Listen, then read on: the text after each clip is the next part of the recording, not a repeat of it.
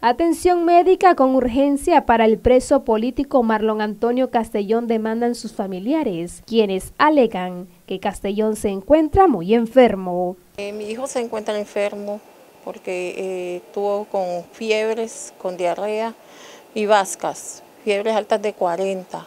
A él no me lo sacaron al, al médico en ningún momento.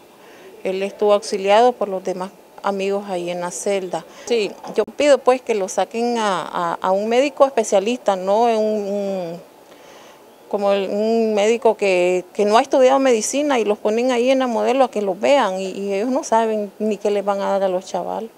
Y que me dejen ingresar el medicamento que él necesita, que si es posible yo lo llevo, pero no me lo dejan ingresar.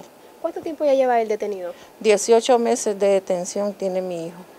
¿De, de qué lo están acusando? Bueno, temporalmente, como se juzga en Nicaragua, me lo acusaron de robo agravado. Esperan que el gobierno de Nicaragua tenga la voluntad de liberar a todos los reos políticos en este mes de diciembre.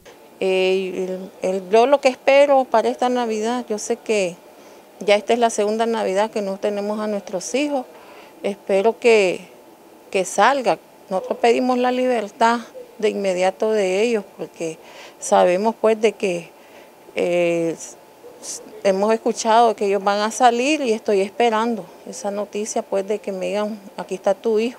Noticias 12, Teresa Reyes.